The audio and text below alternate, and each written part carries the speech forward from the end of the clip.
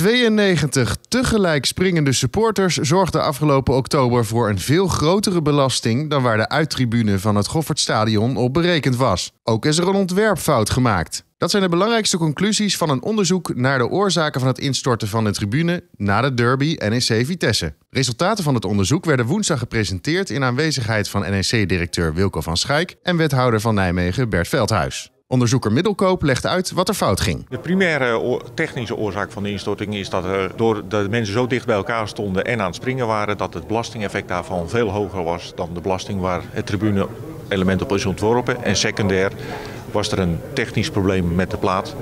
Uh, wat een reductie van 14% van de uh, sterkte heeft veroorzaakt. Uh, die primaire oorzaak heeft voor een veel groter deel bijgedragen aan de instorting dan de secundaire. Maar doordat ze beide tegelijk optraden, heeft het tot de instorting geleid.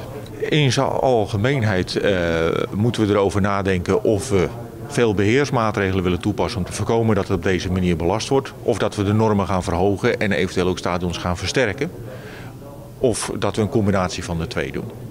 Het Goffertstadion is nu veilig. Maar naar aanleiding van dit onderzoek moet de veiligheid van andere stadions ook opnieuw beoordeeld worden. Mijn advies zou zijn een combinatie van de twee. De normen wat te verhogen.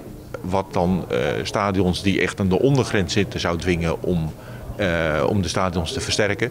Uh, en dat voor vele andere stadions zal gelden dat het voldoende is om beperkte beheersmaatregelen te treffen. De Goffert is echt nu een heel veilig stadion.